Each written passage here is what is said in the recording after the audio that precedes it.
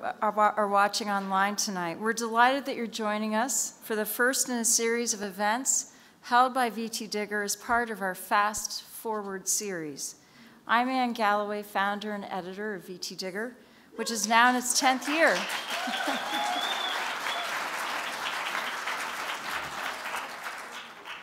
the Fast Forward series is an extension of our mission driven nonprofit journalism at VT Digger. As the state's only online nonprofit news organization, we seek to get past the sound bites and spin to explore issues that have a direct impact on Vermonters. Vermont's at a crossroads. As a state, we face a number of structural problems, and those issues are magnified as we address the impact of climate change, demographic shifts, and globalization. Ironically, the rise of social media has deepened our differences instead of bringing us together around practical solutions. That's why, over the next year, VT Digger is bringing people together with different points of view on public records, vaping, climate change, and the impact of racial discrimination on the state's population base. The purpose of the Fast Forward series is to give Vermonters an opportunity to sort through the complexities of these issues and see how local, state, and national leaders have used system change for the public good. Tonight's fast forward discussion topic is how to fix a jail. Many thanks to our sponsors, the ACLU of Vermont and the UVM College of Arts and Sciences. Please give them a round of applause.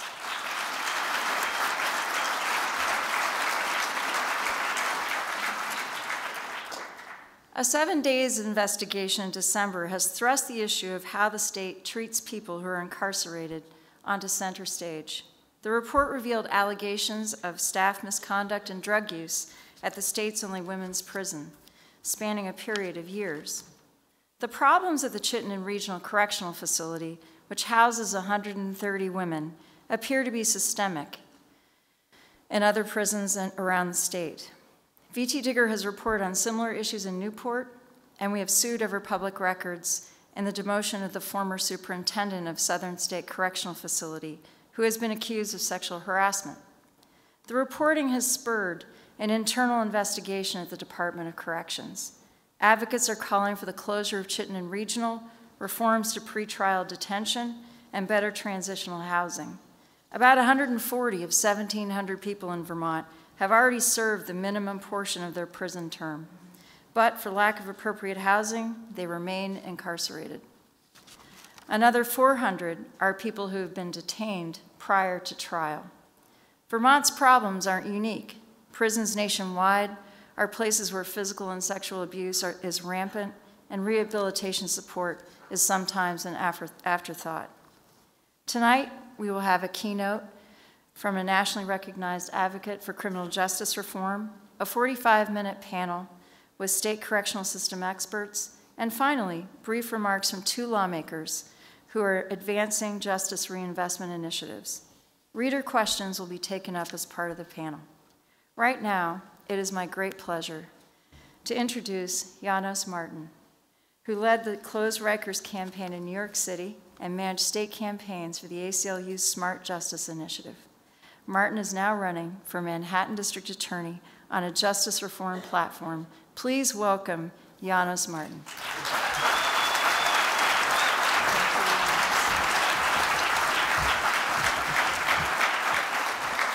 Good evening. Good evening. All right, thank you, Anne, and to the whole Digger team. Now I'm just going to pull up my speech. It's on an app that I downloaded for the first time. Uh, let's just see if I can get this. No, I'm kidding. so, thank you so much for having me. It's, it's really great to come up from New York today.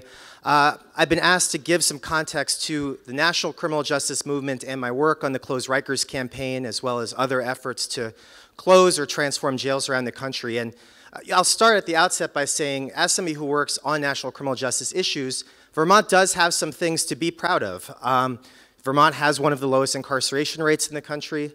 Uh, as you know, along with Maine, it is the only place where people who are incarcerated in prison can vote, which is something that many states are now trying to change.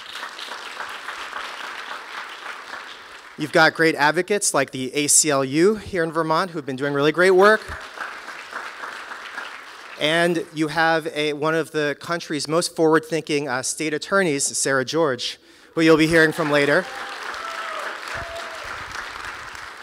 So, you know, not all is not all is terrible in Vermont, but as we've heard, there are some issues that have been going on. And the reality is that there is no such thing as a jail and prison system in the United States that is working the way it needs to. And so, when we think about what the lessons we learned in New York from the Close Rikers campaign and what other advocates have been working on around the country, there is still plenty for Vermont to do. And we're going to hear a lot about what different people are working on in the panel that comes after this speech. But first, let me pick up this clicker. You can skip that. All right.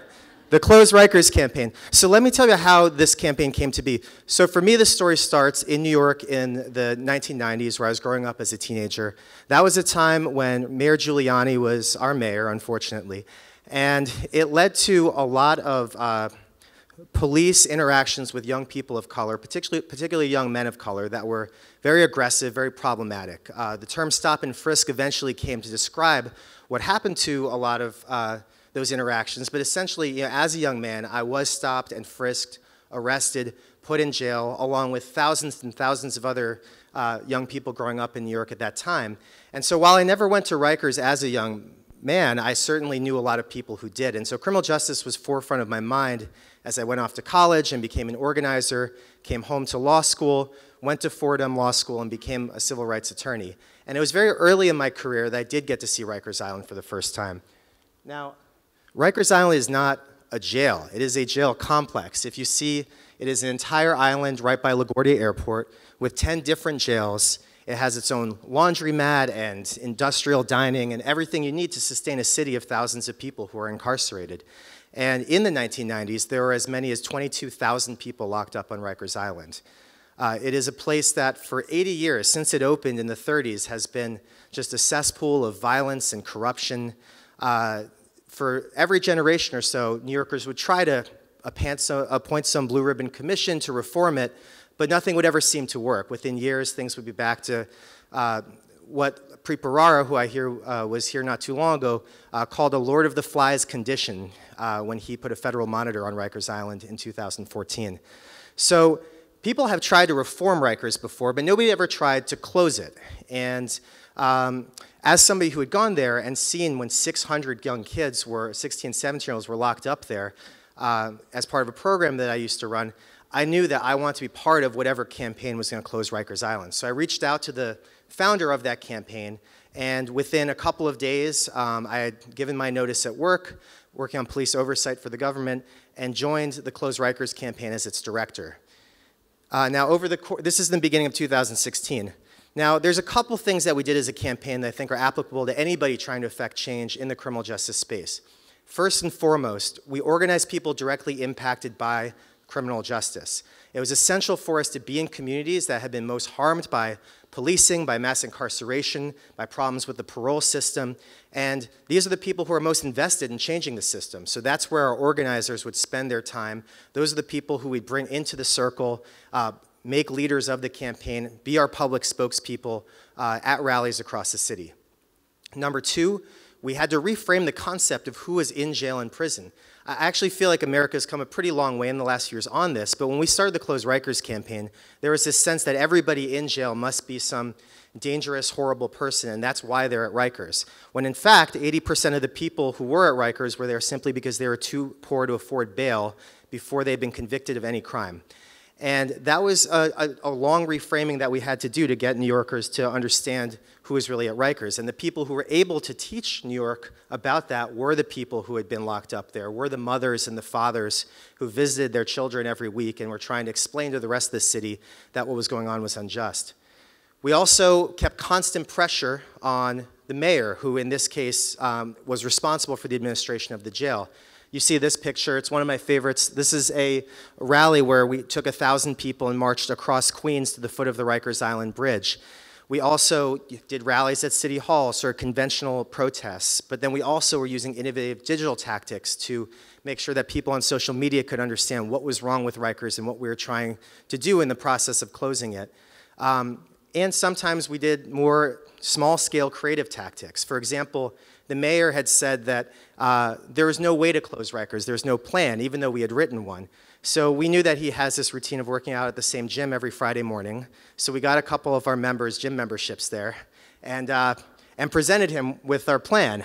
And uh, somebody took a video of it and it actually led the news because the mayor, turns out, works out in cargo shorts. And the story ended up going viral for that reason. But uh, around paragraph three, it said, you know, the reason that he was on video is because closed Rikers activists were pressuring him about a plan. And so, uh, several months after that, the mayor did commit uh, to closing Rikers.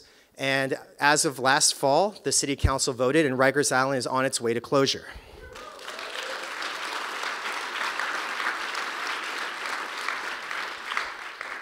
Now, anybody in this room who's ever worked on policy knows that you can have the best policies in the world, but that's not what wins hearts and minds. You have to lead with story, with what's going on with real people. So that's why I saved policy sort of for the end of what we did in the Close Rikers campaign. But the reality is, you can't close Rikers without changing policy, and we knew that, and we actually had a set of policies that we were pushing along the way. So, for example, I mentioned that you know early in my career, I saw that there were 600 16 and 17 year olds at Rikers Island.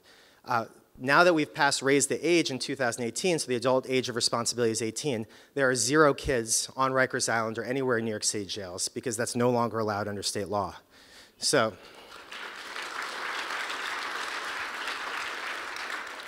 we also passed bail reform, which uh, a lot of states are working on. I actually don't know what the state is in Vermont, but in New York, we were actually able to get one of the best bail laws in the country uh, passed last year. And what that means is that if you are now charged with a misdemeanor or a nonviolent, most nonviolent felonies, uh, you cannot be held uh, on money bail pre-trial, which means that you cannot be jailed for the crime of poverty when your guilt has yet to be proven. And as a result of that, that was just implemented on January 1st of this year.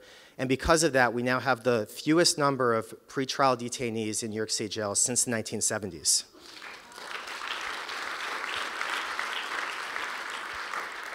And then the last set of policy reforms are around discovery and speedy trial, which is a problem in almost every state. It's why, why are these cases taking so long to, to actually get to trial? And, and will they ever get to trial? And if not, is that un, unfortunate leverage on a defendant to accept a plea deal just to get it over with or to resolve their situation? So we've passed discovery and uh, speedy trial reform also. Those also took effect January 1st. So we don't know if they've worked yet, uh, but we hope that they will continue to drive the number of people in jail and prison down further. So, you know, as we were doing this in New York, people were reaching out around the country asking how they could, how they could do this in their own jurisdictions. Uh, the next place we went is Milwaukee. So um, I, have been told that uh, the issue of parole revocation is a, is a problem in Vermont. It's actually a problem everywhere in the United States. The issue of when people come home from prison, they face all kinds of challenges, and in addition to the regular challenges of where to live, how to get a job, they also have to abide by certain rules in addition to abiding the law that makes it very difficult just to live your daily life. And when people fail to comply with those rules, they often have their parole revoked. This is a prison in Milwaukee, uh, downtown Milwaukee, that is entirely consists of people who are imprisoned for parole revocations. So these are not people who have committed new crimes while they're on parole, that they've broken rules like curfew, driving when they're not supposed to, being in the presence of another known felon, things of that nature. And so there's 800 people in this facility. And what's crazy is that what's crazy about this photo is that these windows aren't even actually uh, to any of their cells. They're actually just into the hallways or in some cases for show to make it more palatable for downtown Milwaukee commercial business district. Um, and so activists in Milwaukee are trying to close MSDF and they're having a difficult time, um, but with the Democratic Convention coming to Milwaukee, they're hoping to spotlight this issue uh, for a party that claims to be for criminal justice reform. So in Philadelphia, some better news. Um, Larry Krasner, who many of you have heard of, I'm sure, is the district attorney there. He ran on an unabashedly reform platform. And we had started a campaign to close the Creek, which was the oldest continuing running major jail in American City. Um, it had been running for about 100 years. And within a few months of Larry Krasner taking office, uh, the mayor called us. He's like, You actually can just stop your campaign. We're going to close it because we don't have as many people in jail. Philadelphia used to have four jails, and now it has three. Um, it's the jail population since Larry Krasner took over less than two years ago has gone down by about 30%. And that's just by using the district attorney's office to be more sensible about who, uh, who we're incarcerating.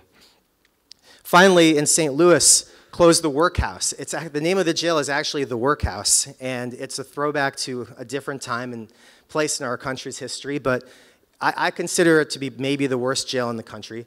And St. Louis activists, many of whom were first sort of born into activism by Ferguson, have now rallied together to close this jail. St. Louis has two jails.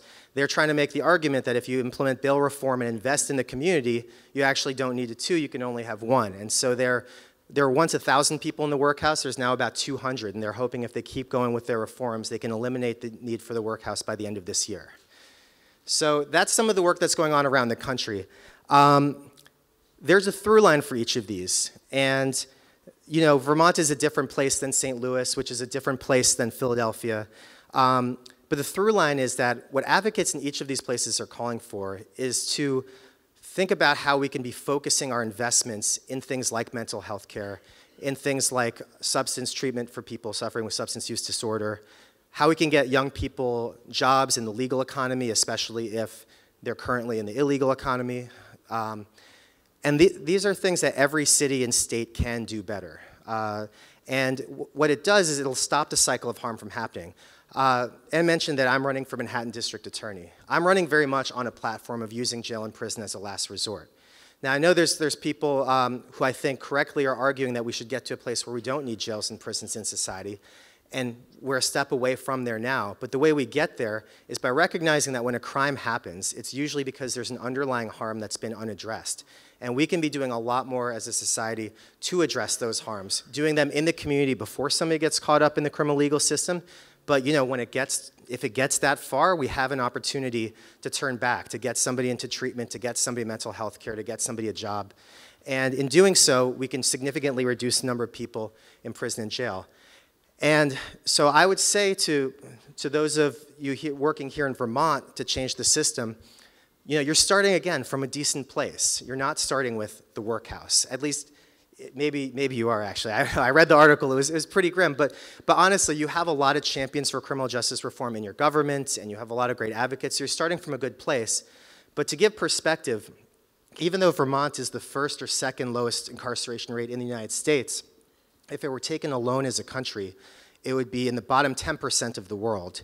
It would be actually sandwiched. I looked this up. It would be sandwiched right between Russia and Brazil, uh, two famous criminal justice reform jurisdictions. Um, so, so think about that when you think about how much farther Vermont can push to, uh, to create a system that actually puts people first, strengthens communities, and re reduces our dependence on jails and prisons. Thank you.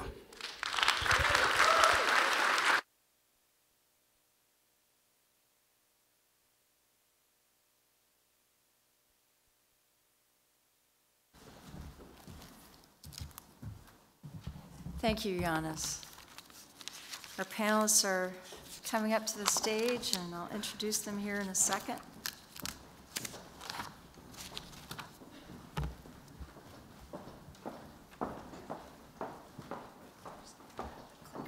Oh, yeah. Thank you.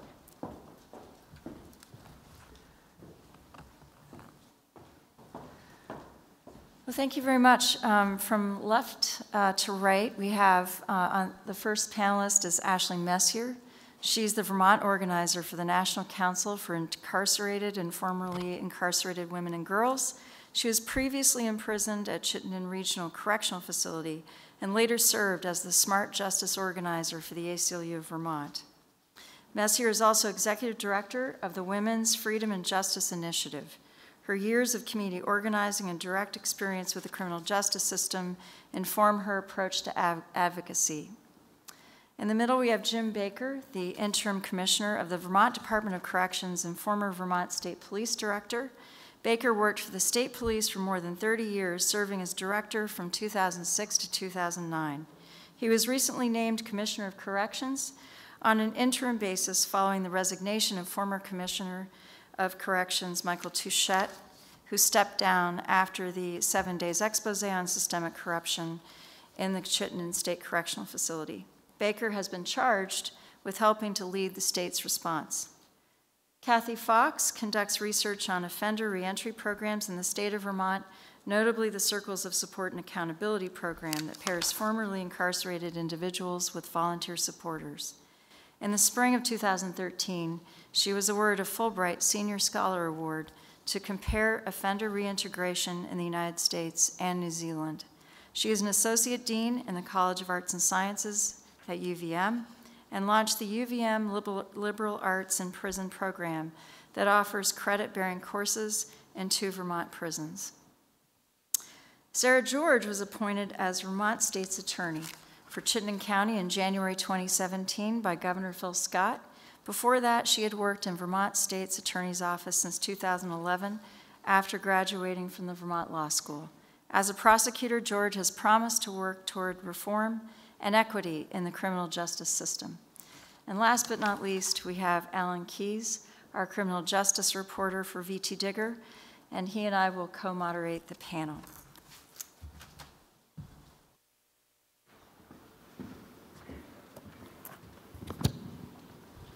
Thank you all again for joining us. And uh, the first question is for Ashley. Uh, why did it take an expose from seven days detailing sexual misconduct and drug use by DOC staff to prompt a state investigation into the South Burlington facility? Well, that's a big question. uh, I would say in two parts. Uh, one was the bravery of the women that were willing to tell their story publicly and be named very publicly. Uh, the second was uh, Paul Heintz was very dedicated to researching the information uh, and to telling the story in a way that uh, signified their dignity and respect for the women. Uh, and we have also been screaming these types of allegations for decades in this state and in that facility and in other facilities that the women have lived in in Vermont. And unfortunately, we were not shocked and appalled by the article as the general community, as uh, some other advocates were. Uh, we very much felt like it's about time. And uh, to Paul and the women's benefit, it did spark large community outrage. It did spark uh, the internal investigation, which we're hoping will be deep and detailed and bring a level of honesty and accountability to the system. And Jim, now that you've been in your position for a few weeks now, um, He's counting the hours. Four, four and a half weeks, Alan. what have you found out about the culture of the Department of Corrections, and what changes from your kind of first view um, do you think should be implemented? Well, I, I think to answer that question right off, I would say that corrections has an insular culture. Um, it's also a clashing of cultures in the organization um, due to a lot of issues. There is transformation happening. And I, I recognize what Ashley said. I know before I was approached about being the interim commissioner, obviously I was concerned about the article as well, as a resident of Vermont and someone who's been active in the criminal justice system in Vermont for 40 years. Um, I think the clashing of cultures is this transition that's happening inside corrections that folks may not see from the outside, but it's happening at the legislature this year to a new uh, role for corrections.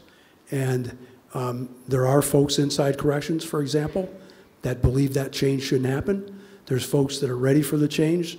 There's folks that are kind of in the middle. And we see that uh, culture play out in everyday interactions that we have with folks that we're responsible for. And so that's, that's an early observation. Um, obviously, changing culture is not a simple process. Um, identifying the areas where you change is important, and that's the process we're undergoing right now. Can you just briefly talk about the morale that you saw when you first walked in and talked to people in corrections? Alan, I think you were in some committee hearings that I testified to. Um, the staff is demoralized. Um, look, th- there's 1,100 employees in corrections, and the folks that surround me and the leadership team are some of the hardest working, dedicated folks that I've been around. Systems create behaviors, and I'm not a corrections person. You heard my background. I'm a law enforcement person. That may scare some folks in the room, but um, I, I did work in D.C. for three years, and I had a front row seat for criminal justice reform during the Obama administration. I understand it. Um, The staff, um, I think, is, is starting to realize that we're getting stabilized. But in the facilities, staff are working mandatory overtime. We're carrying large vacancies. I'm hearing stories of staff working uh, 16 and 18 hours, sleeping in their vehicles for four and five hours, and going back to work in 18-hour shifts. That is not sustainable. It's dangerous for the staff. It's dangerous for the folks that we're responsible for in the facilities. So to answer your question, that's a major challenge right now. And um, we're going to address that with a graduation of a class on Friday of 32 people. And um, we have to address that issue before we start trying to address the issues around culture, if that helps with your question. Thank you, Sarah. Many inmates on furlough end up returning to the facility for technical violations, similar to what Janos was talking about in New York. And the Council of State Governments tracked furlough violations in 2019 and found that 77% of the people readmitted to prison committed technical violations. These can include losing housing, violating curfews, programmer work failures, and using drugs and alcohol. Should the current furlough system be scrapped? If so, how should it be replaced? Also, a very big question. Uh, the short answer is yes, it should absolutely be scrapped. Um, I recently learned as well that the Department of Corrections has 32 different levels of supervision um, within furlough, which you can imagine for an individual um, reentering the community how hard that must be to keep track of for themselves, but then to be dragged back in on a technical violation as if somebody having a positive drug test or being out past curfew or maybe losing their approved housing, that somehow we think putting them in jail is a better um, use of our money, for one, and um, their own safety or the safety of their families. The instability that that creates far outweighs any I think, public safety risk of bringing them back to jail. Um, what should we replace it with? I think, one, we just need to put less people in jail um, so that that's not an option at all, especially people who have those family dynamics or supports in the community to take them away from those is again making all of us less safe um, but just a system that's very clear i think is important and a system that when prosecutors recommend a sentence, and when a judge imposes a sentence, everybody knows what to expect from that. And right now, that's not happening. Prosecutors are agreeing to sentences thinking one thing, and then it's turning out that that person's serving significantly longer jail sentences than anybody intended. Um, and that's not fair to anybody in the system. I also think that we need a system that allows people who are incarcerated to have more impact or more. Um, contacts with their family and support systems in the community, either uh, literally allowing them out for birthdays or for parent teacher conferences or for funerals or weddings, things that can really help stabilize them and make reentry a lot easier for them. Why are people staying in longer than you anticipate? For those same reasons. They're, they might not be originally staying in longer, they're getting out at their minimums, but then being yanked back in over and over again for technical violations. And so someone who might have been sentenced to a six month sentence is actually serving over two years, um, which is when I reviewed all of the women that are be currently being held out of Chittenden County cases, that was a handful of them that they had actually ended up serving literally years longer than we ever expected them to on technical violations. Wow. I wonder if, um, Kathy, you have any comment on this particular problem? It's on. it's already on.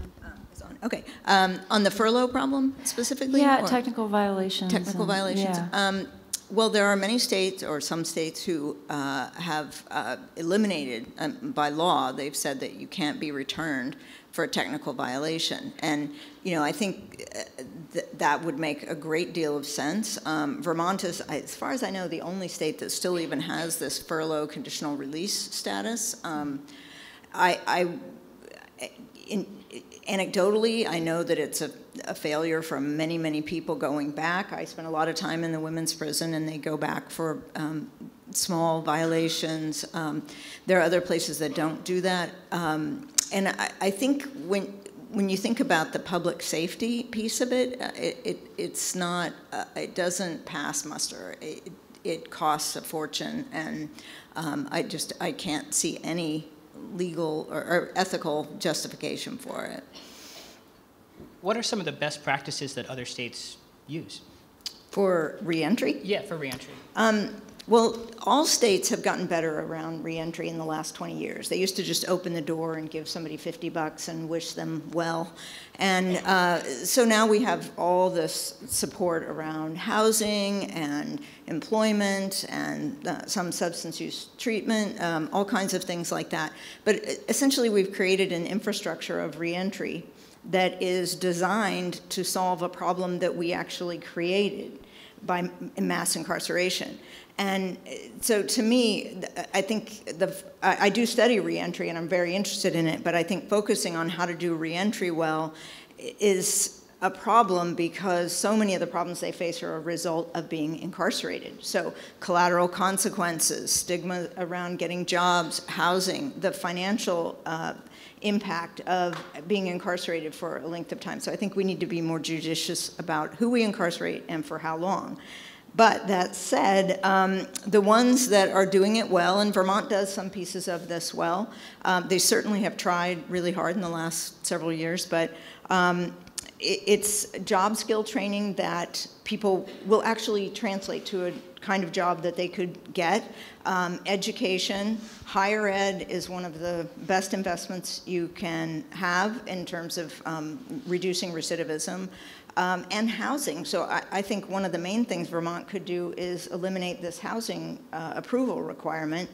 And, the, the, um, and then the, uh, the final thing I would say is that when you look at places and people who have succeeded, they all, uh, uh, there's a very similar theme, which is someone believed in me and thought that I could succeed and thought that I could be more than the worst thing I ever did.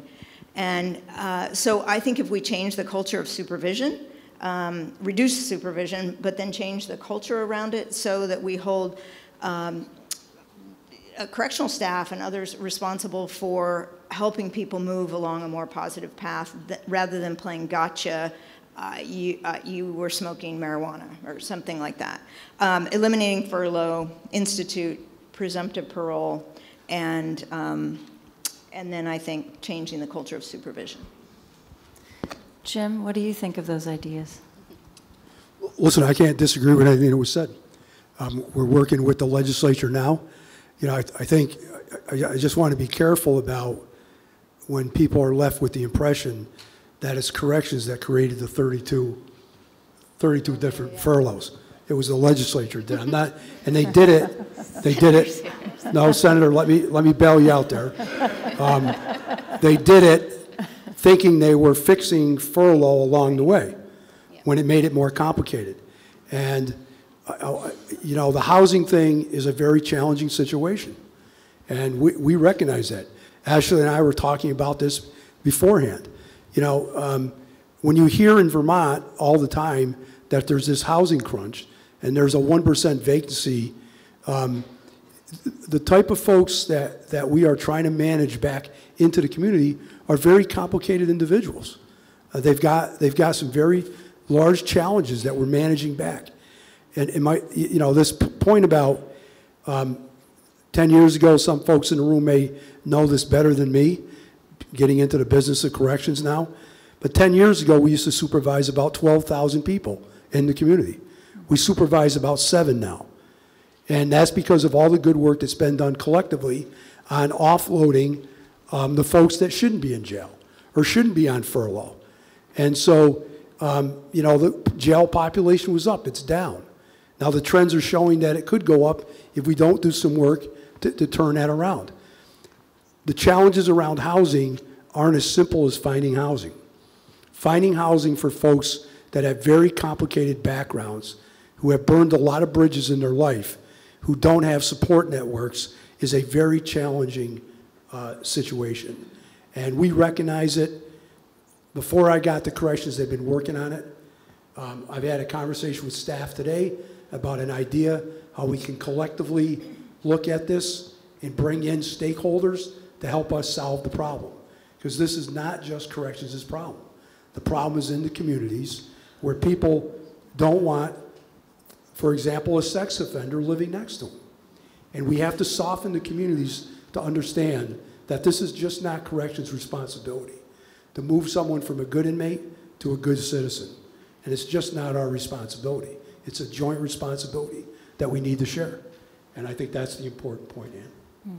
Thank you, Jim.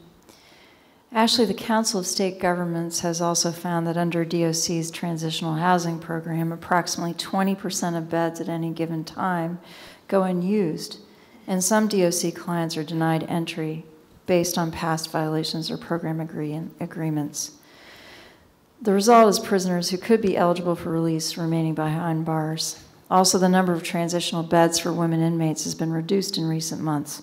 What steps does the state need to take to address the problems with transitional housing for prisoners in Vermont? Yes, so more specifically, uh, women lost over 50 transitional housing beds uh, in the last two years with nothing to replace them.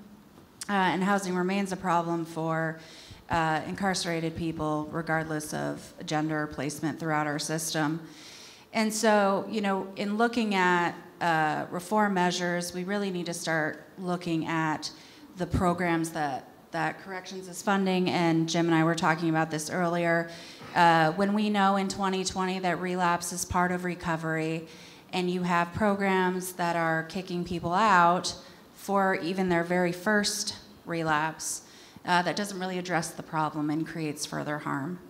And so um, I think they're really looking at the programs we're funding, uh, looking for the community to step up and stakeholders to step up and really be a part of the conversation on how we can create new housing opportunities, looking for landlords and people that own their homes and however innovative we need to get. Housing is a problem for everyone in Vermont across the board, regardless of your background or challenges or life or income. Um, and so it's it's a complicated issue. That being said, you know, it's uh, Kathy mentioned, you know, our problem of mass incarceration, and if we weren't incarcerating these people in the first place, that would change the conversation a lot, right? They would have more opportunity. They would be able to have gainful employment, be with their families and children and parent, and so it's it's a symptom of a larger issue. Ashley, how, how do you convince communities to embrace having traditional housing in their communities? Well, that's really a sticking point. I think uh, Janos did a good job talking about what it's like to work uh, in hyperlocal communities. Uh, I've done this work nationally as well as uh, throughout the entire state of Vermont. And uh, just like with the rest of the country, Vermont is grappling with the how do we respond to harm.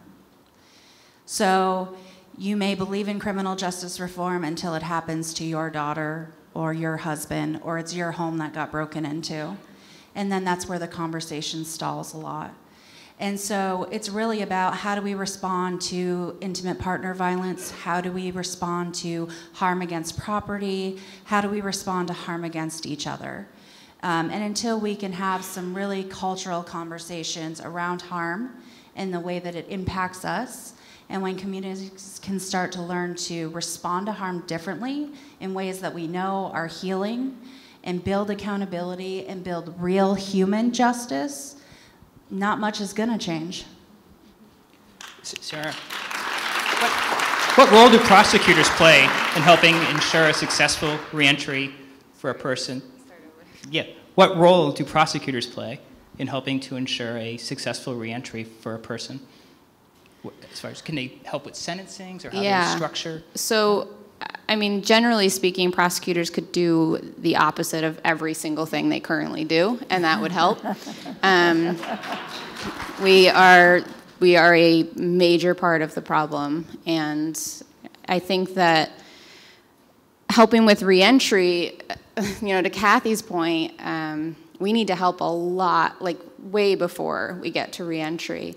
I think that we need to be arresting less people, we need to be charging less people, we need to be diverting more people, we need to be detaining um, less people before they're um, found guilty. We need to be engaging them in more services while their case is pending, um, which I think a couple of our pretrial services monitors are here. I give them a shout out because since we've been engaging far more people in services while their case is pending, we've had to put far less on supervision. Um, we've put an incredibly lower amount of people on probation because we've already gotten out of out of their charge what we needed and um, don't need that conviction, don't need that supervision, and then putting even less in jail. And you know, again to Kathy's point, once we're putting them in jail, if that really is the route we have to take, putting them in jail for far less time. Um, we have this idea that we need this sort of minimum time and then we have this maximum and that maximum is so arbitrary and like we've seen it's ended up just keeping people in jail, jail longer and you know 90% of the people that we incarcerate in vermont get out. Um, we have a very small number of people that we put in for life um, too many but we have far fewer than um, we have a very few amount that do. So we need to be working from the very get-go to have less people in the system. And then reentry wise, um, I think to my point earlier, we need to do a better job while they're incarcerated with, with already getting them um, to be a part of the community, already helping them get to their kids' um, um parent conferences and go to things for their family that might be important for them and connect them to a community so that when they get out, it's not all foreign to them. And when it's foreign to somebody, they're at a higher risk of getting pulled back in. What, what kind of crime should land people in jail? um, you know, it, the irony is that some of the more violent offenses in our community are actually people that are less likely to reoffend. So um, it really, that's a really hard question. I think that including homicide, most of the people that commit homicide will never commit another homicide, even if they were let out. The, the it, that particular crime is very particular. It's in, you know, for a partic- particular reason. Um, in my personal opinion, I even try to stay away from the idea that violent um, felonies are really the only ones because I think that, again, those people are the ones with the most trauma in their history, are usually the ones with bigger mental health issues that led to that violence in the first place. They're usually victims themselves. Um, so there's very few, I think, left that require incarceration, um, especially when, you know, I always think about it as if you imagine spending, imagine, I did it, 50 plus thousand dollars a year on college, and you know that when you get out, you're going to have a 32% um, chance of getting a job. And then you pay another $60,000 and you have the same ability. And then next thing you know, you're, you know, you're $200,000 in the debt and you, you you still might not get a job. That's our incarceration, that's our Department of Corrections. It's $69,000 a year and they're 67% likely to reoffend what are we doing? Why are we doing that? Um, a lot less people need to be in there for um, whatever the crime is. Thank you. Jim, what do you think?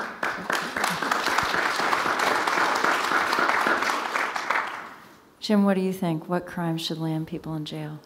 You know, you're, you're asking me a question of, of um, now that I sit in a different seat. And I think Sarah's point that she sits in a different seat. Um, I, you know, I'm going to differ in an opinion that there are individuals in our system that need to be in jail um, for a whole host of reasons. Um, I do agree that um, we, corrections, need to do our part in the system to do a better job of making sure that we're not doing more harm to the situation uh, than there needs to be. Um, on, on these offenses where we put folks back in on technical violations.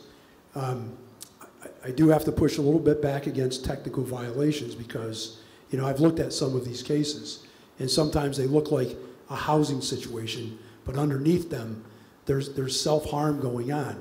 And because of the lack of resources that are built out in the community, many times we have little choice. We, we're down to little choices about what we're going to do with that individual. And I think that's part of the system that needs to be looked at very closely, which is, and the, and the work is going on at the State House now about what, are, what services are in the community. And I go back to what I said earlier. And some of this comes back from my background as the police chief in Rutland, where we created Project Vision. And the work that we did, the work that we did around working with the community to help on these very issues about how you um, soften the landing for individuals coming out.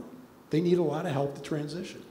So I, I don't really want to get into the debate, debate with, with Sarah about who should be in jail and who shouldn't be in jail, um, especially in my role now, because I, I've said this a couple times in front of committees, and I, I want to emphasize this as a call out to the correction staff. How, how many correction staff folks are here tonight? Raise your hands. Thank you for what you do.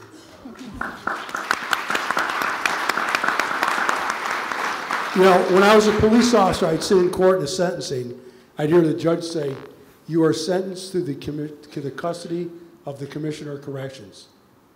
And now I am the Commissioner of Corrections. And I take that role very, very seriously. There's at least one person here who came up to me earlier whose son's in jail, and I told her I take my role very seriously. I'm obligated to protect her son. And I'm also obligated to, to help my staff do the best absolute job they can do. And so these conversations about who should be in jail, who shouldn't be in jail, are very tricky conversations. But I think for the Department of Corrections, where we want to be is in a situation where we're moving to a more humane, dignified process, and that everybody's treated in a fair and impartial way. And that there is no, there is no um, systematic situations that allow people to use that power and control against individuals that they shouldn't be using it against. So I- know I didn't really answer the question because I don't want to be in the debate, but I want to give you a sense of where corrections is. Long before I got here, under the leadership of Mike Touchette, um, when I met with Mike, he left me with two words, dignity and respect. And I made a commitment to him that I would follow through with that as the Commissioner of Corrections during my interim time.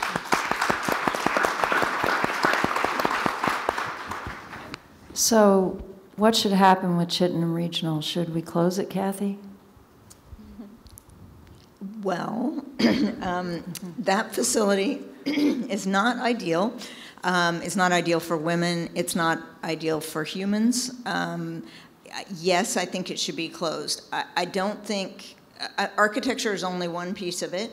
It- It's obviously culture, um, uh, you know, it- it it doesn't provide an environment in which someone can easily make progress, right? Um, and, uh, but no prisons do that I've seen in the United States. Um, so I, I would definitely like to see a different facility, much smaller. I mean, the bottom line is that a vast majority of the women there could be effectively supervised in the community and don't need to be there. Um, that said, um, we, uh, my partner Abby Crocker and I, research partner, we are um, the research partners on an Urban Institute grant that Vermont just got, um, which was uh, in process long before the Seven Days article came out. And it was initiated by Mike Touchette, who said, I want to change our culture um, in prisons. I, and I want to try a pilot, and so we're, we're doing this. And part of what we've done is go look at other facilities. So, just as an example, there's a facility in Maine where um, you know, there's natural light. People can go outside. Um, there's windows. Uh, they don't have slamming doors. Uh, they, they don't um, get sent to something bad if they have a, a dirty UA. They say, oh, you need more support. What can we do to support you? Because relapse is part of recovery. And so, you know, when you see this model, then you realize there are other ways we could do this rather than having these incredibly frightening slamming doors, you know? So I, I yes, I think they should close it, um, but I think it's not just a question of moving the women to a different facility. We need to do the entire enterprise differently and start from scratch. So Ashley, what are, what are your thoughts on that? Does Vermont even need a women's prison? Does Vermont even need a women's prison? There's people who have been saying abolish the prison. Okay, so can the people in the back hear me? I just want to, okay, cool. So, uh, at the National Council for Incarcerated and Formerly Incarcerated Women and Girls, we work to end the incarceration of women and girls, period.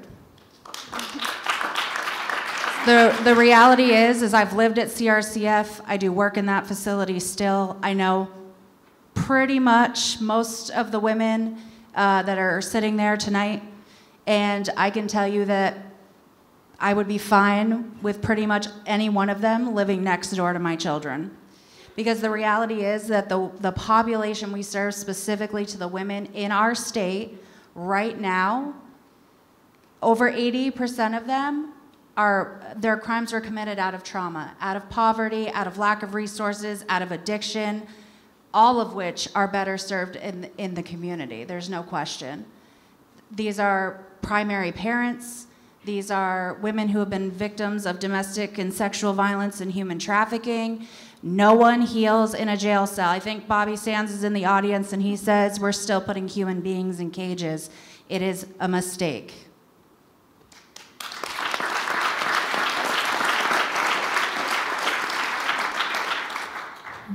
Jim, what do you think? The facility needs to be closed.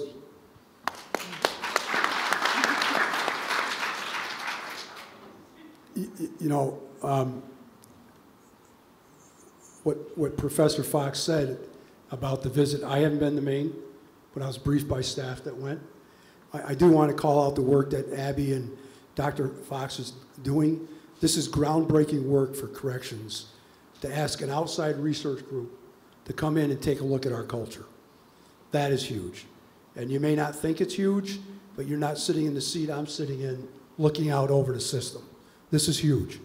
And what's going to come out of this is the ability for corrections to take a look at the enterprise change, about the way we interact every day with the folks that are in our custody.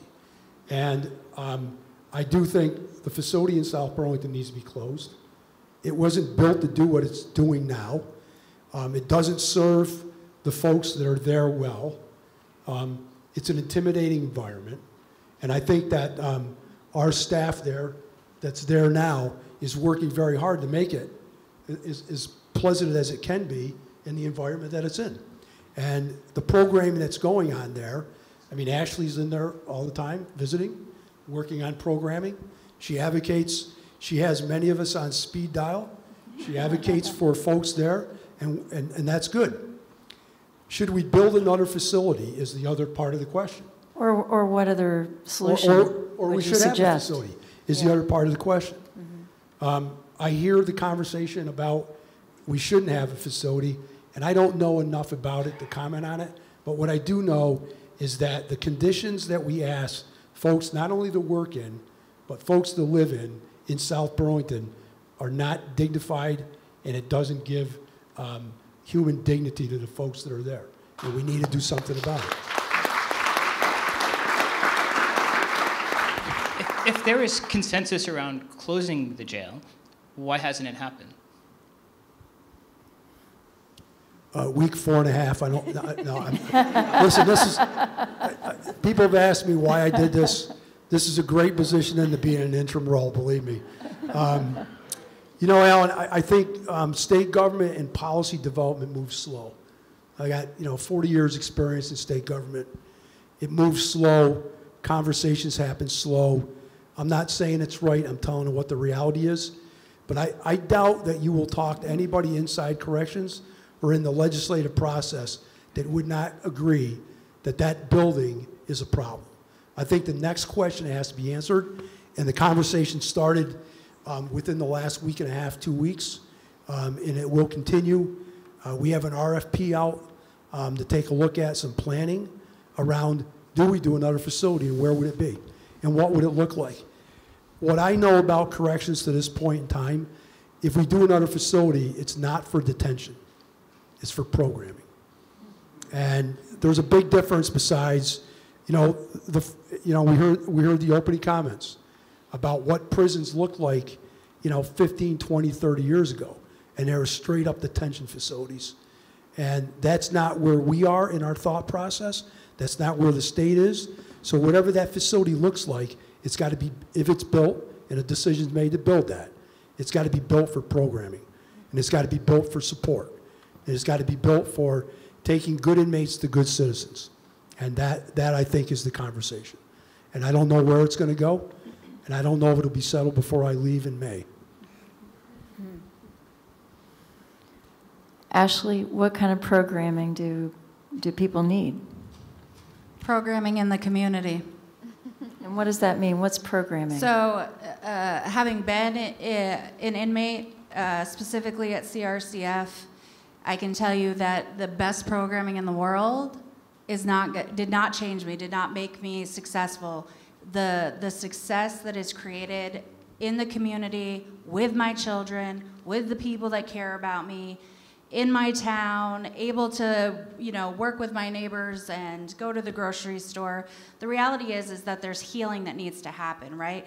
The true meaning of justice is when all parties in an act of harm can heal.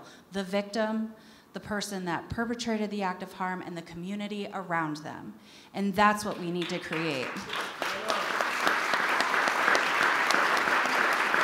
So- if, if we spent as much money as we will spend on new programs in jails, they will still be jails. I don't care what you paint them. I don't care how many windows are there. But if we invested that money in community-based alternatives to incarceration, in mental health, in housing, in public education, and down the line, we would have better outcomes than we'll have in the best programming in a prison.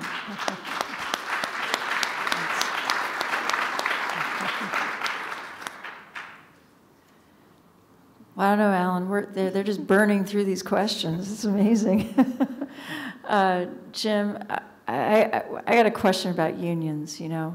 Um, I, I, I know that the VSEA um, has a certain opinion about how workers should be protected, and there's some tension there about standards of conduct potentially and drug testing and that sort of thing. And I wonder if you could talk about that. Um, you know, what, how do you see this? What is the union's role in pushing for prison reforms? You know, Anne and I, and you and I were talking about this before, right? Um, I have a great deal of experience of working with unions through the years, um, from my state police days to uh, when I was the police chief in Rutland, to running the police academy, uh, to now being the interim commissioner of corrections. I have a date, I, I have a great deal of respect for unions. Um, they represent their employees, um, and um, there is tension. That's a normal tension. But you know, the interesting thing for me, um, when you, when you finally get down to sit down with whatever unions I've ever dealt with over the years, you know, and you break bread or you have a cup of coffee, they really want the same thing I want as a leader. And I mentioned this earlier. I, want my staff to be safe. I want them to make a good living. I, I, I, don't want them exposed to situations that traumatize them because they get traumatized in their work. Um, I want to make sure if they are traumatized, that there's programming for them that supports them. That's a problem in corrections right now. Um, and and I, I will work on this before I leave. Uh, I, I will get them more clinical support based upon the kind of work they do and the stress they're under. And so the interesting thing is, is that I want the same thing the union wants, but sometimes, um, and again, being in an interim role, I can say this without any, any harm coming my way. Sometimes there's a lot of grandstanding that goes on. And, you know, in this case, I've heard representatives from the union um, blame the leadership of corrections for every problem that goes on inside corrections. I see the disciplinary cases and I issue discipline. And I can assure you that's not, not the case. And so I think in a relationship with unions, it's really about having an understanding about what our roles are, in following the rules of a contract, and making sure employees are taken care of, and that we as management aren't heavy handed, but unions are not overusing processes that weren't meant to be overused. And having an understanding of how best to create a workforce that does the work we're charged to do, which is do no more harm to the folks that we're dealing with. So it's not an easy situation. Sometimes some unions are easier than others. Um, I've, I've had, uh, in my history, I've, I've actually had a union ask for a criminal investigation of me. I've been sued by unions. Um, I think that's more than it needs to be to get the job done, because at the end of the day, we want the same thing. Should there be drug testing? I, I know Secretary Smith has, has mentioned that. I think that's something we need to talk with the union about. Um, I think you only ask for certain things from the union that are intrusive, if in fact there's a basis to ask for that intrusiveness. Um, now, when it comes to accountability, uh, you know, I'm huge on accountability. I know, I've heard, I've read the stories. Ashley and I have had a couple long conversations about what advocates perceive as the lack of accountability in the system. And I think that um, they, they have a legitimate concern because I'll go back to what I said to Alan earlier about corrections being insular. Sometimes we get so insular, and as we're attacked more, we get more insular. And that leads people to believe that there's something behind the wall. And I don't, I, you know, I, I don't mean behind the wall, the jail, but hidden behind the wall that we're trying to hide. And I think we have to be more transparent about what we do and how we do business and what, what we're about. So people have a better understanding that we're part of a bigger system that everybody needs to work on to get to these places that have been described tonight. And the union plays a big role in that. Hmm. Speaking of transparency, you had to use that word. I probably, so I, I know, do, do you want me to ask me the question? No, no, I, I, I just wondered about, you know, public records. And, uh, you know, Alan and I have been fighting for a few records here and there. Uh, and, uh, you know, should the public have more information about grievances, and- grievances and complaints, and especially complaints from correctional officers against other correctional officers about misconduct and that kind of thing, which is what we're seeking essentially in the Edward Adams case. Do you, do you think that there should be more public disclosure of some of these things that come up? Um, I'm going to go back to my, my law enforcement community policing um, mythology of the way I think. We should be as transparent as we legally can be. And there'll be debates over what should be released and what shouldn't be released, uh, an interpretation of what the freedom of information law is. But I do think any organization, including corrections, does itself harm when it's not transparent. When you get into personnel issues, it's a very tricky area to work in. Mm-hmm. And, you know, because you're balancing those issues. You know, Alan knows this from my Rutland days, the Supreme Court decision, which is the test, which is the test of what the public needs to know and what the public doesn't need to know, Yeah. is a Rutland City Police Department case. So I live that, I understand it. Um, I just think we need to be more transparent as an organization. And I, I kid with a couple of, you know, the- of, of the staff members. You know, what we do in corrections is not, we don't carry the nuclear bomb code around with us. I mean, we don't, I mean, what we do is serve the public. So I, I do think that we can do a better job at that. I can't talk about that case because it's litigation, but. Yes, of course. Right. Yeah. So I, I, that's where I am on it. So, Thank A- you. Ashley, should the grievances from inmates be available to the press or the public to look at and I think see? it should be up to them. If it, it's their records, which I know when we uh, had this discussion previously, many of the women would be happy uh, to have the press and advocates view their grievances and look at that, the responses they've gotten. Uh, so I think it should be up to them. If it's their records, it, it should be up to them if they're released. How would that work? I mean, basically, essentially, the women are being blocked from having a certain amount of copies of their grievances.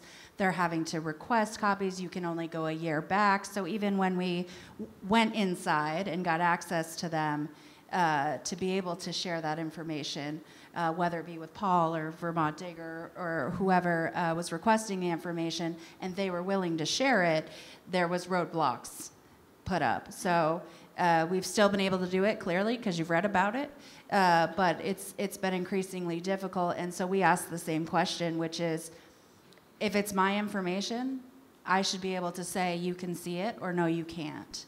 And you know, the reality is, is, is the women and the men, and everybody in our correction system has a, has a right to uh, have their information shared if they so choose, and, and also to keep it protected. But it's an accountability tool, right? Because the reality is, is if the grievances were, were viewed in mass, then there would be some accountability issues.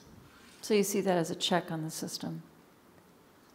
I see that as the, there's obvious uh, concern as to not sharing those grievances. So that leads me to assume, uh, having seen some of the grievances, because women brought them to me, uh, which I then shared some with the ACLU's legal team, um, there, there's concern there. There's concerns in how grievances are handled, the process itself, how they're answered, what's done with them after the fact, how long it takes, uh, even up to the judicial process. So um, I will say that I think the grievance policy is being looked at, which is a, a much needed review and change. Terrific. Jim, you want to say If you don't something? mind, I I can't disagree with much of what Ashley said, based on what I know. Um, We have to take a look at our grievance process. Ashley and I have talked about this, um, and I'm talking with staff about implementing a process where um, we involve the superintendents in a regular conversation about the state of grievances that are coming from their facilities. So it's on our radar. It's- It is something I'm going to get to before I transition out as the interim. And I'm not saying we're going to have the perfect answer, but um, uh, procedural justice is important.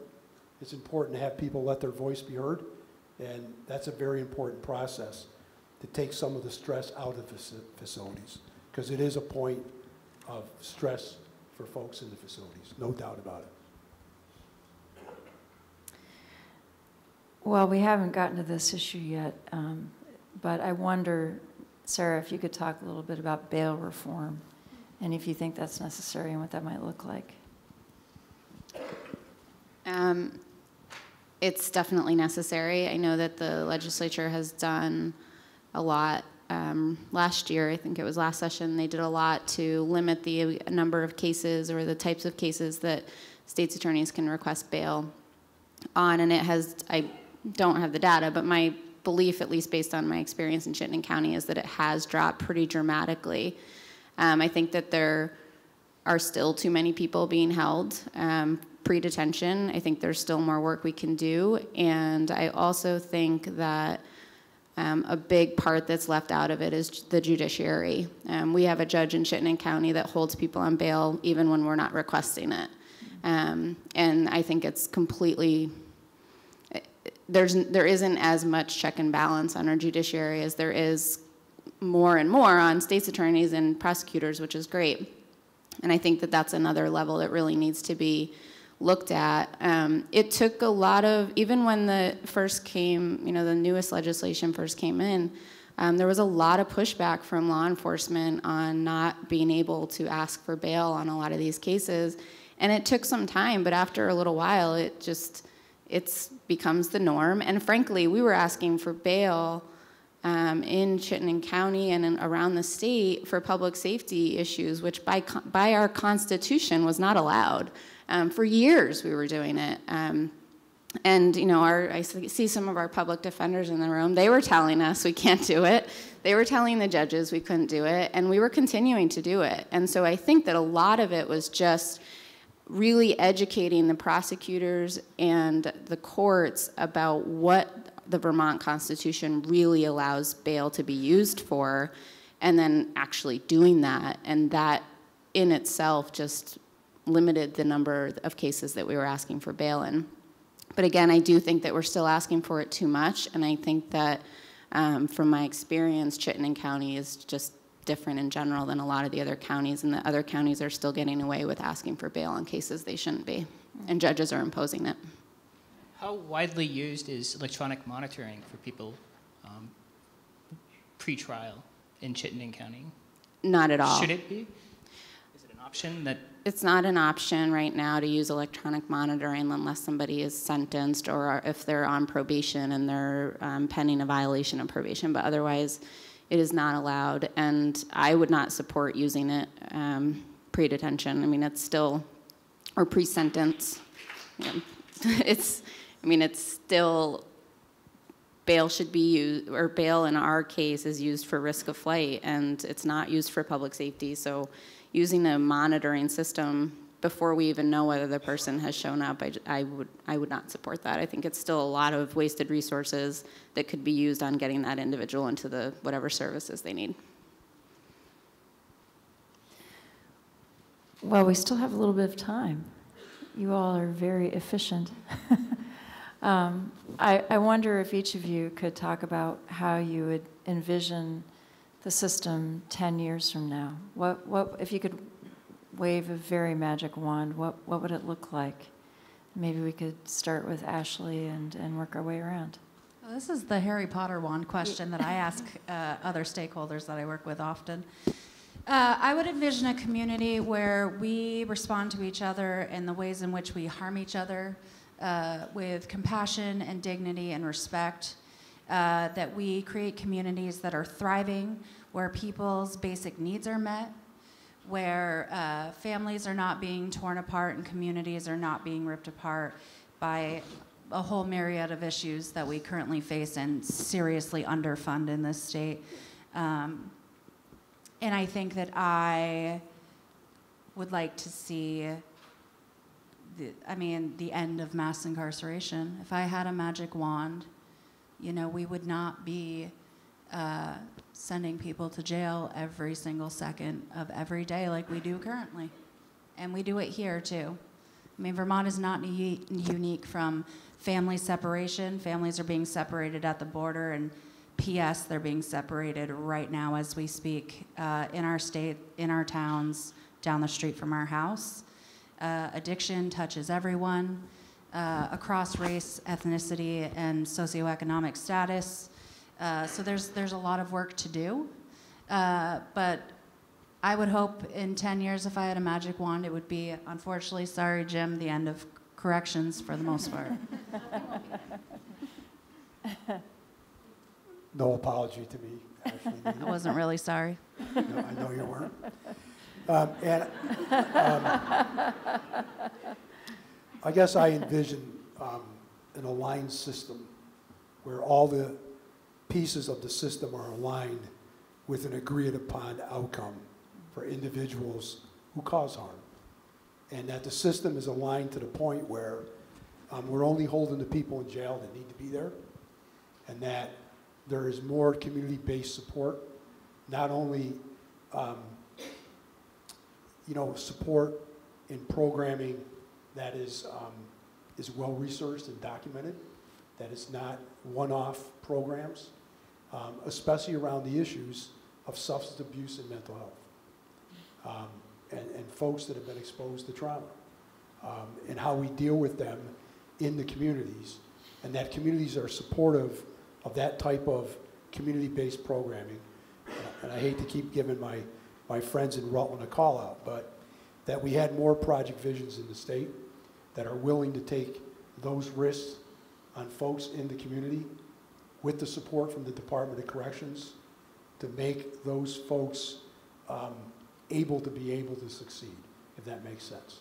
And that there are success stories that get told about um, folks such as Ashley, who had an opportunity um, to make a difference. And I don't think we have enough of that right now. And I do think the folks in the Department of Corrections recognize that, and they want to move towards that model. Um, There's this saying that I've heard um, that we need to distinguish between who we're truly afraid of and who we're just mad at.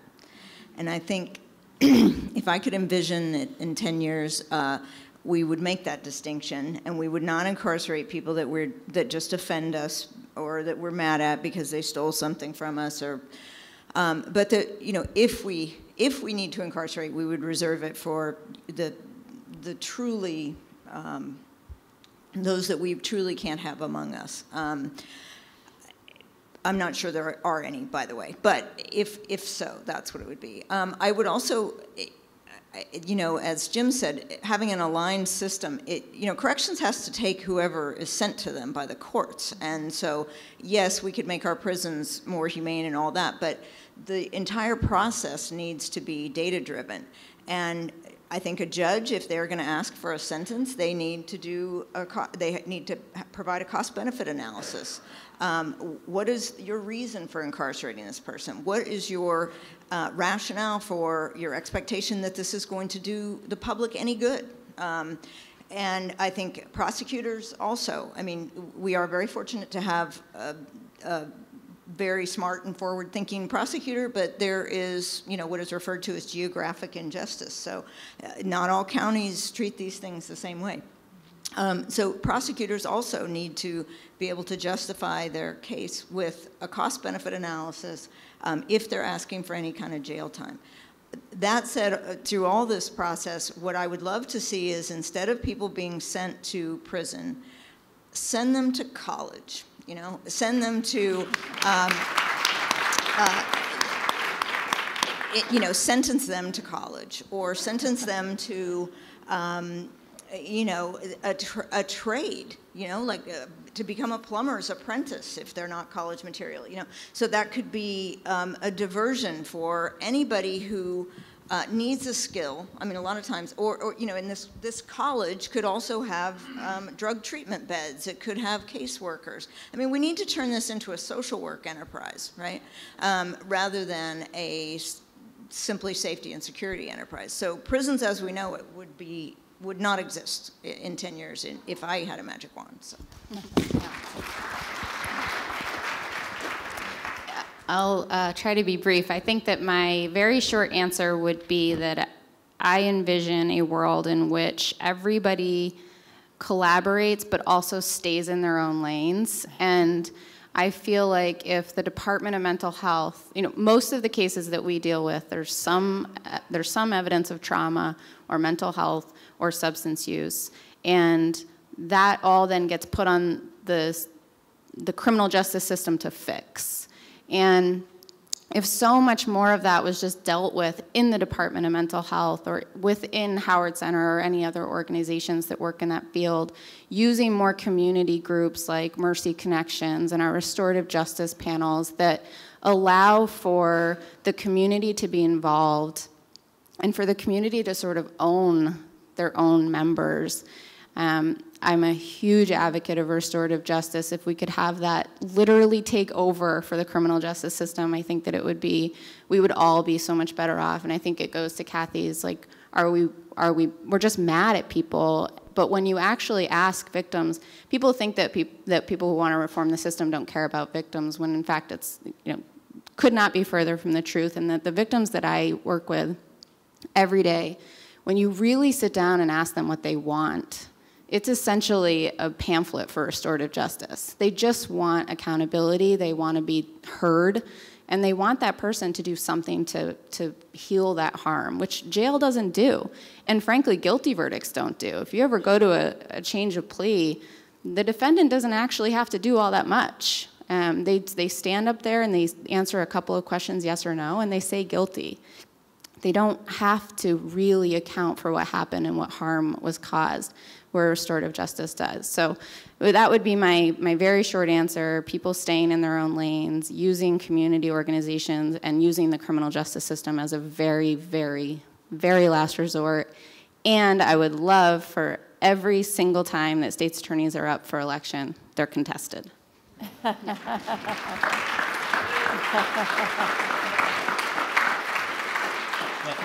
I'm less patient than Anne, so she said 10 years. In a year, I mean, are we going to be sitting here a year from now having the same conversation? Or do you envision there being changes within a year? For me? Anybody? I, I- I think, I think, I think changes are happening now. And I see changes happening in four and a half weeks inside corrections. Probably not to the satisfaction of a lot of folks, but I think a year from now, based on the work that's being done at the legislature right now, um, and where we are in our thinking, because I tend to agree with, you know, I said a long time ago, even law enforcement is now an arm of social work. And um, there, there, there's a lot of damaged folks out there um, that need help. And so I see the system changing now. And I think a year, two years from now, it's going to look a lot different. I don't think we'll be sitting here having the conversation about technical violations on furlough. I don't think we'll have that conversation. I think it'll be behind us. Do you agree, Ashley? Do you think? Oh, we're, we're not going to be having the same conversations in a year. I- uh, uh, Otherwise, I sorely failed at my job. Uh, So, you know, I hope that we are much further in a year than any of us think, but it's going to take some work on the legislature's part, uh, including funding the things we need them to fund in the community so that we can make some, some large changes. I think that recommendations have been made that were on the conservative side that could be strengthened and, and go further. And I think that the work is not done until the work is done. Anyone else on that comment? I mean, I can definitely, I feel confident that in Chittenden County, a lot of stuff can be done in a year. I've been the state's attorney for three years, and I feel like a lot has got accomplished. You just, you need community support to do the things that everybody in this room probably agrees need to be done. And again, I can only control what I can do in Chittenden County, but I think that I am lucky that I feel a lot better about doing it because of the incredible organizations that we have in Chittenden County. We're, we're very resource heavy. And so I think that there does need to be a lot more accountability around the state, but we also need to make sure that those counties and those communities have the community supports that they need to make those decisions but I do think that it can happen. Um, maybe like a year and a half or two years. Oh, 18 months, 24 Yeah. months. Well, um, thank you all for, for your insights. Thank you, thank you. Thank you very much.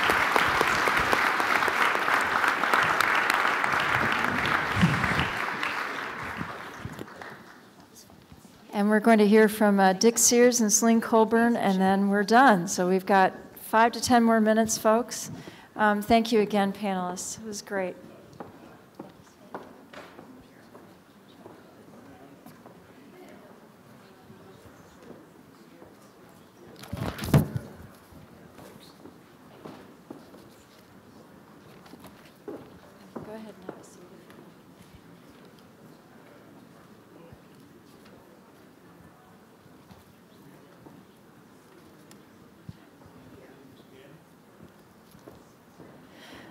So we have um, Senator Dick Sears and Representative Selene Colburn.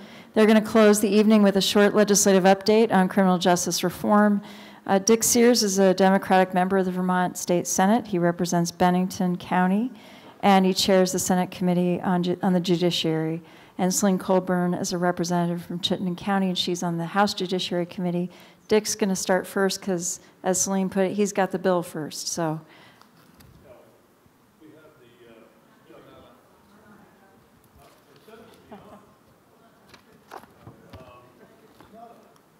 Here, try this one. I'll try this, I'll try this one. Is that better? That's great. Thank you. Um, I'll try to be, they asked me to be brief, but it's hard to be brief when you're a politician. Um, but I will say this, uh, the panel and our keynote speaker were great. We really appreciate that. Um, and we do need the community support uh, to move forward. Back in 2008, we started Justice Reinvestment One. And Justice Reinvestment is really a process led by the Justice Center out of New York City. They have offices in, in uh, uh, San Antonio, uh, no, excuse me, Austin, Texas, Seattle, Washington, New York, and Bethesda, Maryland. And they are a data-driven group who looks at strategies to reduce prison population with, without compromising public safety. And the idea behind it is justice reinvestment, and it's reinvesting monies that you save from incarcerating people into community-based programs. Um, in 2008, Vermont had the fastest growing prison population in the nation. We were, and our numbers are small. When I compare them to New York City, I mean, I get scared, but our numbers are relatively small. We've dropped by 500 over what was projected. So our out-of-state prison population in 2008 was at um, 750. It's down to around 250 today. And at the same time, our crime rate is the second lowest in the nation, behind Maine. So we accomplished both of those goals. Um, Jim mentioned there were 12,000 people on probation back then. That was one of the recommendations in Justice Reinvestment One, was to lower the probation. Uh, some of it was fairly easy. Some of them were actually dead, um, and they were still on the rolls. But uh, last February, Senator Tim Ashe, who's uh, the president pro tem, gave the Senate Judiciary Committee a challenge. Eliminate the out-of-state population of 250. So that's what we were trying to move towards, and we start now with Justice Reinvestment 2. Um, furlough was already discussed, so I won't get into that, but there are basically three strategies.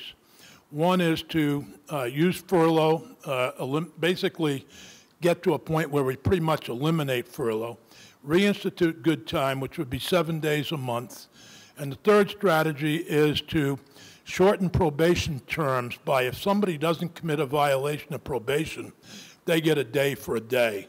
So if you have a three-year sentence, a three-year probation uh, term to say five years to serve, you would work off that probation time and hopefully get off probation sooner. Um, the, second, the second step after we finish Justice Reinvestment one, uh, 2 will be a bill regarding mental health problems. And I loved what Sarah George said about that part of the, in, in her discussion a few minutes ago. Corrections is really the institution of last resort. And we know that many of the people that are held on detention and held on detention the longest have significant mental health issues. And that's a group that we really need to zero in on to reduce that number. So the third step will be some form of bail reform, hopefully this year, if not this year, next year, continuing the bail reform effort. Um, at the same time, uh, you know, it's not easy. Uh, you've got a lot of different uh, folks working on a lot of different issues, and the House is, is going to be dealing with the women's prison, particularly, I believe, as will the Senate. Uh, we are some days get bogged down in the minutia and, you know, whether or not, how soon on these technical revocations. But I wanted to mention, you know, on revocations from furlough, roughly 80% uh, of the people returned on furlough violations are for technical violations. They're not for new crimes. And that's an area that we will be particularly looking at and trying to improve. Um, and I think we're going to accomplish that this year. I have confidence in that. That's going to make a huge difference. The projection from the Justice Center is the three policies that I just mentioned, um, the probation, good time, and going to presumptive parole will reduce our prison population by about 135 people. Doesn't sound like a lot, but again, we're not dealing with, a, you know, a huge number it is going to take the communities recognizing that um, we have to hold people accountable, but do we have to hold them accountable with the highest possible penalty, which is taking away their freedom and placing them in jail? There are alternatives. Vermont's number one problem or number one crime is domestic violence. That we need to really deal with, and we can deal with that better in the communities than we have in the past. Um, and I'm confident that working on that with the Network Against Domestic Violence and Sexual Assault and with others and the Corrections Department, we can make progress. So I'm trying to do that within my five minutes. I've got 12 seconds left, so I'm going to turn it over to Selene.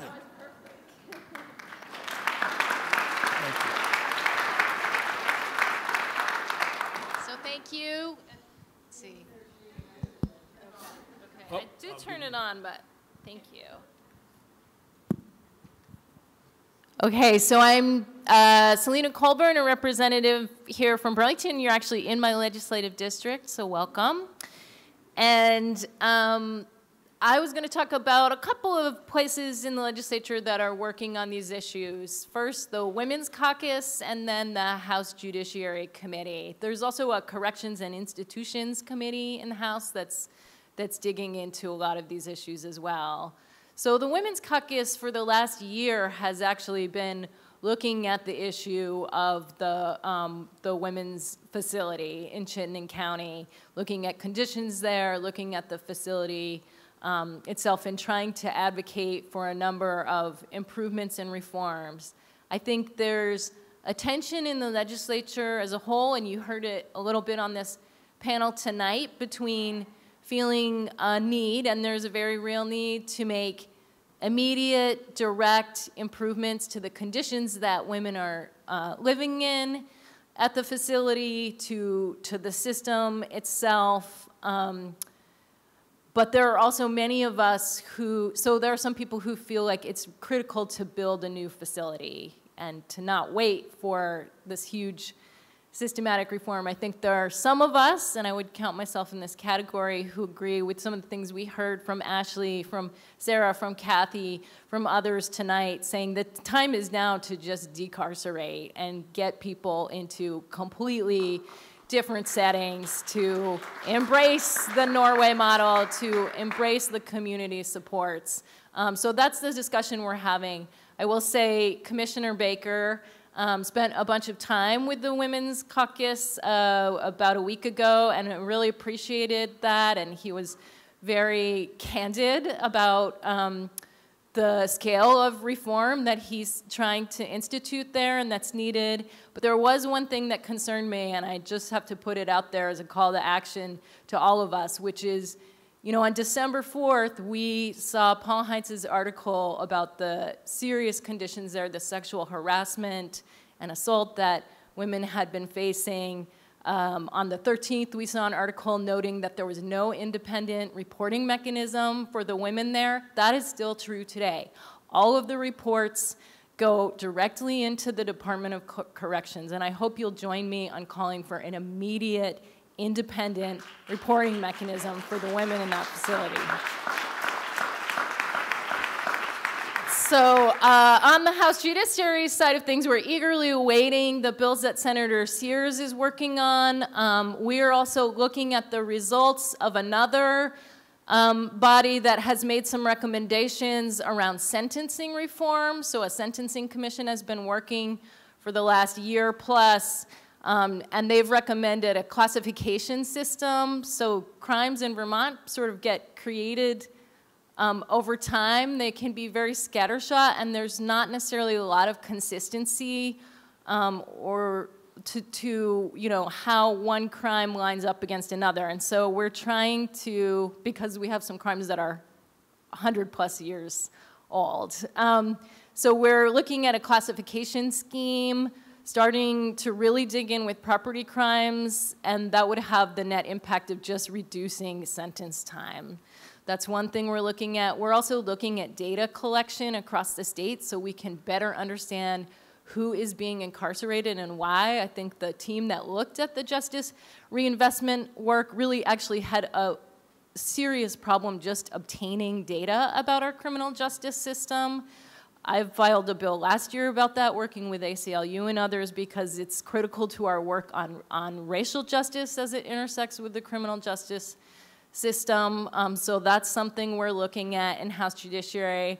And then I would say also we um, are looking at just like what really needs to even be a crime. Um, and and I've introduced bills to decriminalize, following Sarah's lead and others, decriminalize small possession amounts of buprenorphine, non-prescribed buprenorphine. I introduced a bill this year to decriminalize sex work, and I'm happy to say we're making some real progress on that issue. Um, this session, we actually passed a related bill out of our committee today. My district mate, um, Brian Cina, is here. He has a really interesting bill that would decriminalize peyote and psychedelic mushrooms, and um, and we're looking at. I've continued to introduce bills defelonizing drug possession. So the, I think we have to have these aspirational, harder questions too about not just how do we reform and improve what's on the books, but how do what what does does not need to be a crime, right? And because no one is actually being harmed except the person who's engaging in that behavior themselves, and sometimes not even that. So um, that's my report. And the final thing I would say, if I can take 10 more seconds, is just one observation, whether it's our work in the legislature or our work here in a space like this. One thing I noticed about this panel is that there were nine of us on this stage, all told, and I don't presume to know everybody's history, but I think only two people spoke about their experience um, being incarcerated, having direct interactions with the criminal justice system. And if we want to answer the question, whether it's in the legislature or in our community conversations about how to fix the jail, we have to center the voices of people who have experience with being incarcerated, people who are formerly incarcerated, and people who work in the system. So let's all pledge to do better on that.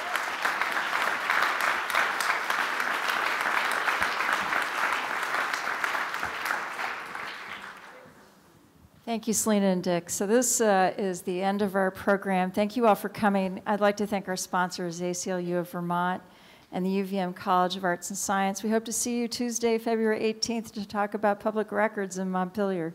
Thank you again. Have a good night.